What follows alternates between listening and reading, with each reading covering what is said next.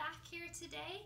I am so excited to be sharing once again the story of Moses with you.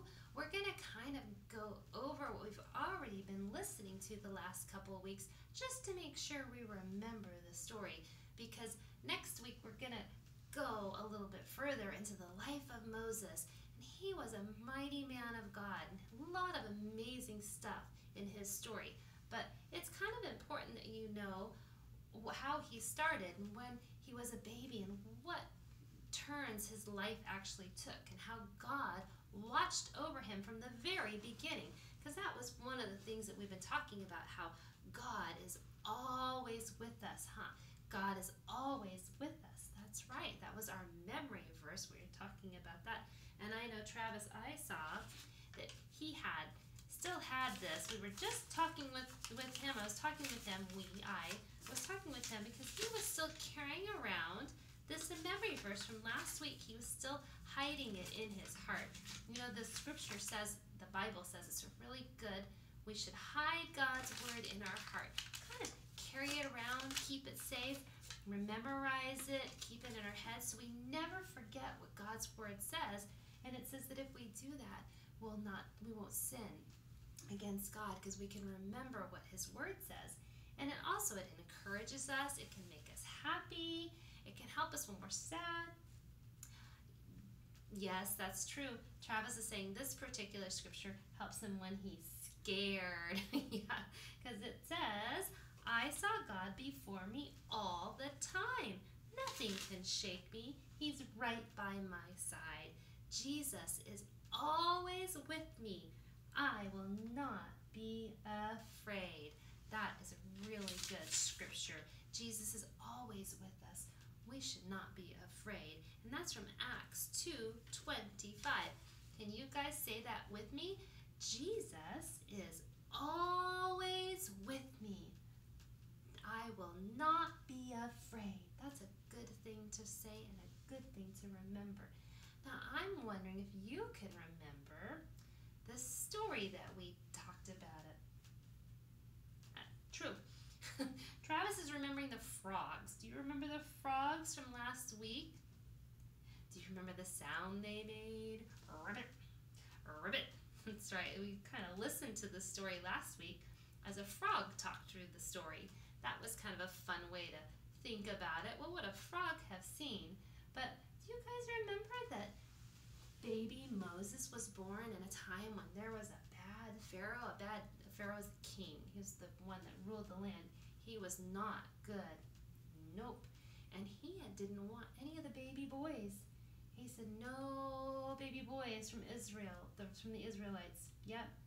And so Moses' mother, do you remember what she put him in? Do you guys remember? Travis does.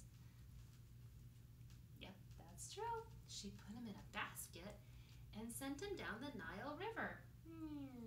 Yep, just like that. And who was hiding, watching over him? That's right, his sister, Miriam. Remember? She was hiding to watch. His mom had said, Go watch, go see what happens, go make sure he's safe. And then, as they went down, who saw baby Moses in the basket? Do you remember? Right? The princess, Pharaoh's daughter, saw him and said, Oh my goodness, look at this baby. And she wanted to take him right to the palace to raise him there as her own son. But he was so little.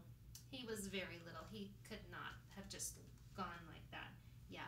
So Miriam stepped out of the um, the bulrushes at the time and said, Hey, I know someone who can take care of that baby until he's old enough to go live in the palace. And of course, it just so happened to be Moses' mother. So she got to take care of baby Moses and raise him when he was little. God was watching over him. God watches over our families, huh? And then uh, when he was old enough, and that's what we're going to go into next week, we're going to talk about as Moses grew up, because he did grow up in the palace. Oh, you do? Oh, I see. Travis, he's got something in his heart bucket. He wants me to show you. Oh, is this for next week? Oh, wow, check that out. That is a fancy crown. Look at that. You have made yourself a crown. Is that, and that's for next week's story? Hmm, that has me interested. I would love to know what a crown has to do with next week's story. Oh, really? Uh, he says I have to wait to find out. okay. We're going to put that back in your heart bucket for right now. Okay.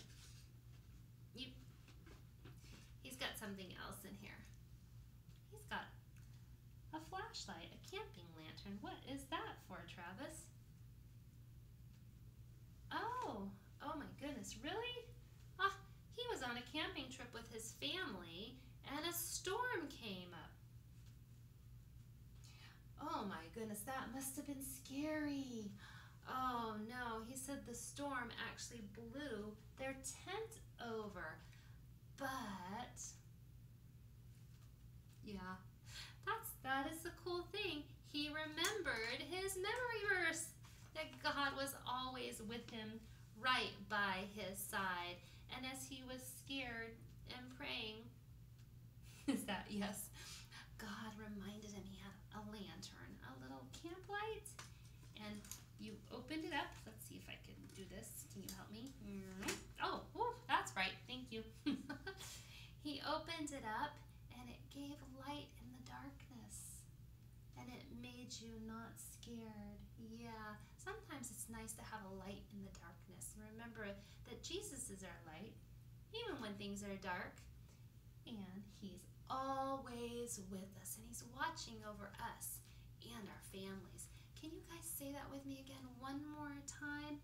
Jesus is always with me.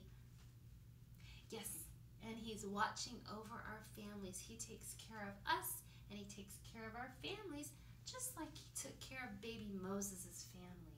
And then next week, friends, like we said, we're going to figure out what is going on with this crown because that's a pretty spiffy looking crown. All right. Love you guys. I hope you have an amazing week. We will see you next week, and maybe we can all figure out what's going on with this and our story. Have an awesome week. We love you guys. Bye.